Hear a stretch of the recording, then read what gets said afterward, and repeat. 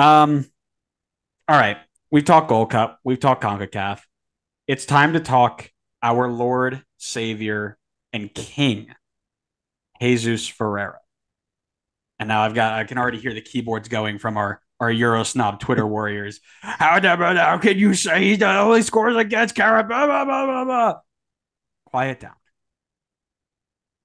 I'm going to start this off. The question has always been Is he in the top three right now? Our the only person I've heard who has never said anything wrong in his life is Alexi Lalas. And he went and said, Jesus Ferreira is number two on the depth chart. So if Alexi Lalas says it, we stand. So here's it must deal. be true then. It has to be. It has to be. So here's the deal. Flo and Pepi one two. I don't think anybody disagrees. I don't think anybody can really put an argument out otherwise.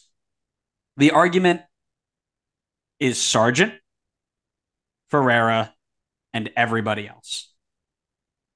Josh Sargent has yet to do it consistently in a men's national team kit. He hasn't scored for the U.S. since 2019, but he also has the best chance outside of that top three to jump Jesus because I do think Jesus is at number three right now. I think you're going to see him get called in more often, and it's really going to be Jesus versus Sargent in these friendly games. And they're going to say, You're going to have 30 minutes today. Go go get something. You know, they're going to give Flo and Pepi their time, and they're going to say, okay, Jesus, you got 30 minutes today, figure it out. And the next day it'll be Josh, go ahead, figure it out. And whoever can figure it out gets a spot. Because if he locks down that Norwich role at number nine, he's got a really good shot at it, I think, because that's, uh, you know, again, high level, playing consistently and succeeding. But his, my worry with Sargent is he's streaky. You look at Norwich, everybody talks about how he scored 13 goals in the, in the championship this year. Eight of those goals came in the first 13 games. Then he scored five in the next 27, you know? So he's going to have to get hot at the right time. And I think Copa America is a big chance for him. I did do a comparison of goals versus like rated teams or whatever. Sargent's five goals, one came against Bolivia, one came against Peru, and three came against Cuba. Ferreira, two against uh, five against Trinidad, one against Panama, four against Grenada, one against Mexico, three against St. Kitts. Sargent, I'm sorry, not Sargent, Pepi, one against Honduras, two against Jamaica, two against Grenada, one against El Salvador, one against Mexico. So you've got most of them padding against weaker teams, yes. Pepi's doing it at a higher level right now. Yes. Sargent needs to get hot at the right time to take that spot. Otherwise, I think you have to go with the hot hand. And we spoke about this going into the 2022 World Cup. You need to take at least one person who's just bagging goals. Doesn't matter where. If they're bagging goals, you got to take them, right? The Hernangomez uh, argument. So I think Sargent's the closest, but right now my three are Flo, Pepi, and Jesus. Yeah, um, my three are also Flo, Pepi, and Jesus, and I, I, I want Sargent to do well, and I think he has good potential, but I just, I don't understand the Sargent hype. I just don't get it. He went to the Prem in Norwich, and he was dreadful. He dropped down to the championship and was red hot to start the season, but like you said, was pretty cold to end it. And with the US, with the USMNT, he ghosts. Like in any meaningful game, I feel like he's just ghosting. I, I feel like I haven't seen this guy have a goal contribution in ages. I mean, I, I I'm looking on FBref to see if his national team stats. I don't know if this is missing anything, but he has a bunch of friendlies that he's played in, and the only meaningful games that they have on here that he's played in is is the World Cup and the World Cup qualifying which he has like 270 minutes played and zero goal contributions. At least Jesus Ferreira still scores in the in the games that he plays. Um, yes. So I mean, for me, Ferreira does it on the club level. You know, he has struggled in games at the national team level, but I feel like he's shown more than Sargent has. So I mean, for me, it's easily Ferreira over Sargent. Mm-hmm. He's more consistent at the club level as well. I mean, he was super good last year, super great again this year. He gets minutes consistently. I think Sargent will get a lot of minutes as well. Um, and I honestly don't think that the championship is that much higher quality than MLS. So Ferreira doing much more in MLS says more to me than Sargent scoring 13 in 3,000 minutes in championship. So here's what here's the defense I will give to Sargent because he does he does deserve some of it. The games that he actually has played in for the national team have been tough. He's played against really good teams. So Bolivia, Ireland, France, Colombia, Peru, Italy, Jamaica, Mexico, Uruguay, Canada, Cuba are the two kind of weaker sides. Switzerland, Honduras, Mexico in the Nations League. And then he had a couple of World Cup qualifiers at uh, against El Salvador and, and Honduras and Canada, and then Japan, and then straight in for the World Cup. So he really hasn't had that ability to, you know, jump in and say, "Oh, I'm gonna stat pad against ABCD," right? And I'm not trying to. I'm not trying to like throw him out completely, right? But I'm looking at these games where, you know, he had opportunities to play. The team itself is not like a bunch of terrible players, you know. You're you're looking, you know, he played with Weston McKennie, he played with Tyler Adams. You know, that's back in 2018 when they were kind of doing the the re the reset, right? But then you go to you go to something like uh, 2021 against Jamaica. Started with Gio Reyna, Christian Pulisic, Yunus Musah, Kellyn Acosta, Sergiño Dest, Reggie Cannon, all playing in the same team. And, and he couldn't get one. Right? Like you can't I don't think that there is blame to say like, oh, he came in and he played against tough teams with with bad you know bad teammates. I don't think that's a, a good argument that I because I've seen it come out like that was an argument. Um, don't think that's a that's a real thing. But if there is one person I have to pick right now to say who jumps Jesus, it's Josh. And I think it's closer than people think, which is why there's that argument. But Jesus has been informing club, as you mentioned. He is scoring against the teams he's supposed to score against. Like if he's coming out of these games with one goal against St. Kitts or one goal against Trinidad, people probably have a a an argument. But he he's he's cutting them down. Now there's the other argument that he's not getting the service against the better teams, which of course he isn't because better teams aren't allowing that service. That's why they're better. You know, it's a catch 22 there there's probably a, a different role for him. He does things that other people can't do, right? His his ability on the ball in hold up play. And I I'll be honest, I don't watch the championship. I don't sit down like most people think they do and watch every every championship game and know about Josh Sargent's game. However, I do watch Jesus Ferreira game. I know that he can do it in a different role, and it's up to the coaching to get them out we'll go to the coaches in a li- little bit.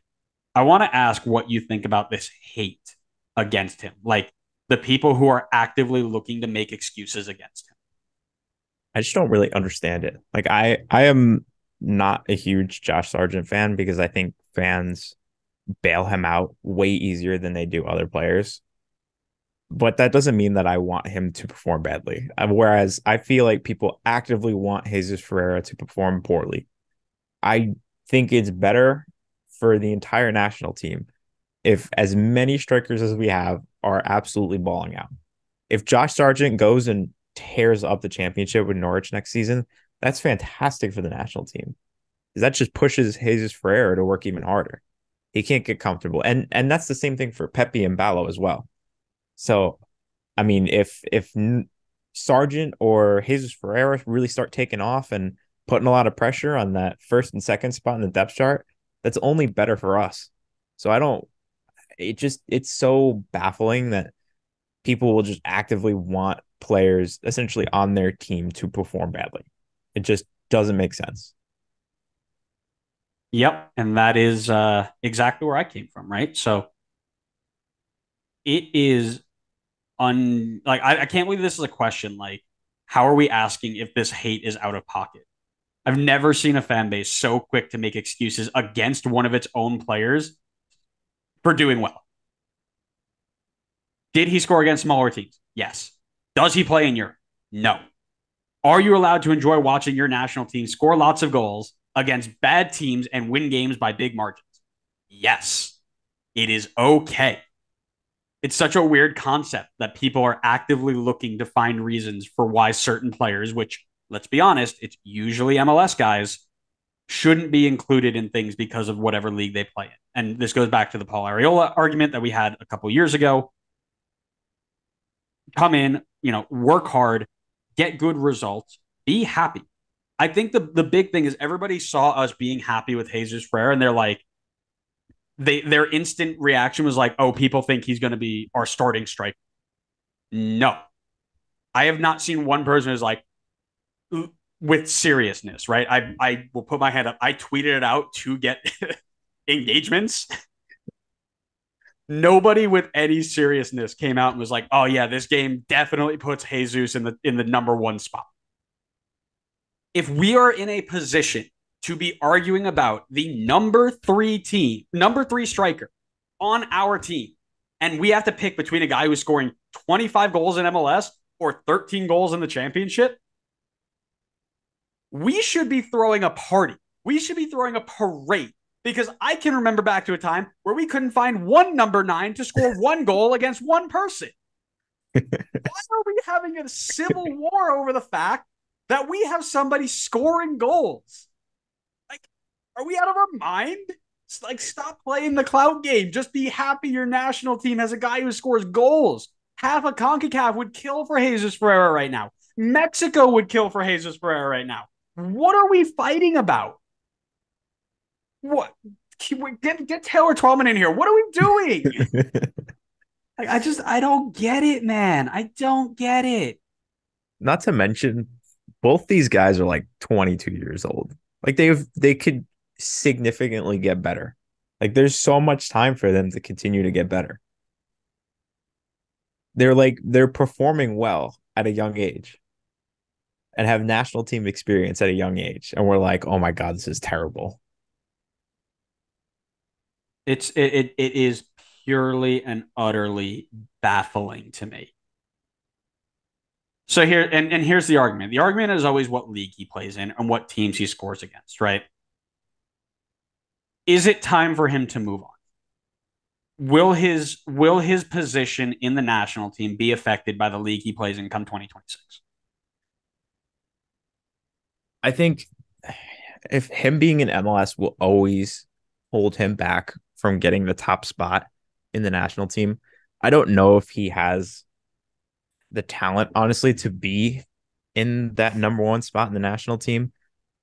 But I think if he stays in MLS, he will consistently be in that conversation for like third on the depth chart.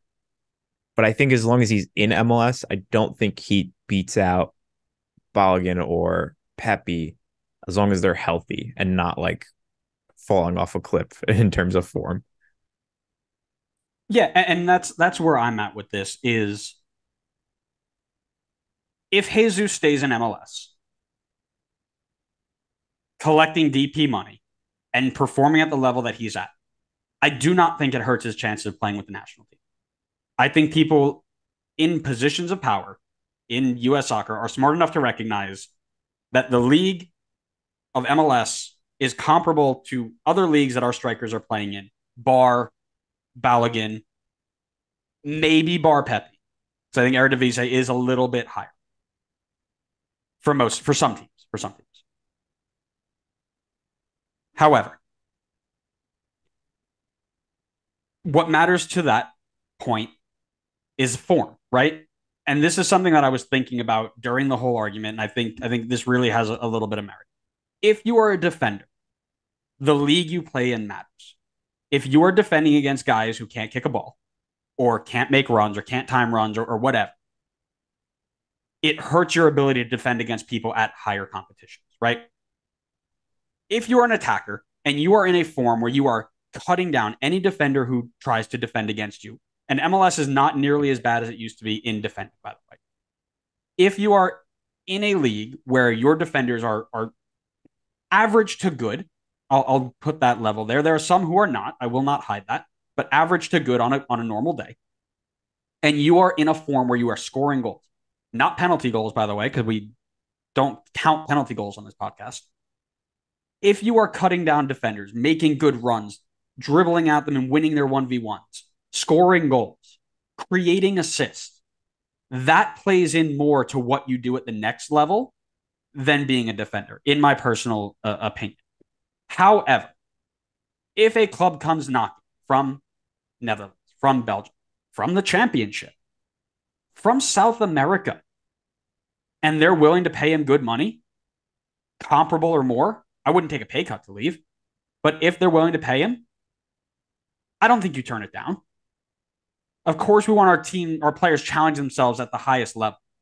But it doesn't mean that you make the move just to say I'm in Europe. We're we're well past that for the U.S. men's national. We're well past saying our guy is on the bench in the Lithuanian second division, and I'm using that specifically because that is that is a joke that's going around currently. We're past it.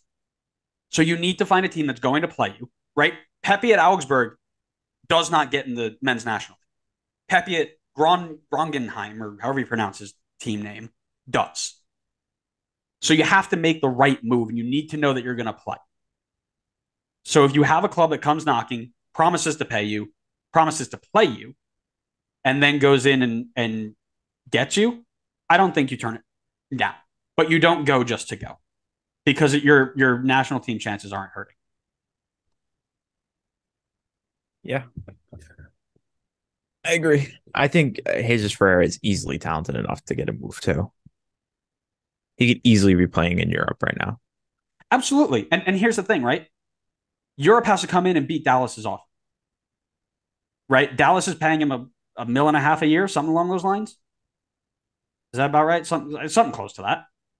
I'm not leaving if somebody comes in and says, "Hey, come play in Europe for half that." What? What a dumb decision. Unless unless Gregg goes up to him and says, "I," you know, pulls a Jurgen Klinsmann. I'm not taking you until you move to Europe. Then you move. But if Gregg is smart enough to say, "Hey, as long as you're bagging goals and and your performances look good, like you're not just tapping in four goals against you know Miami every week, then you're fine." And then everybody can relax.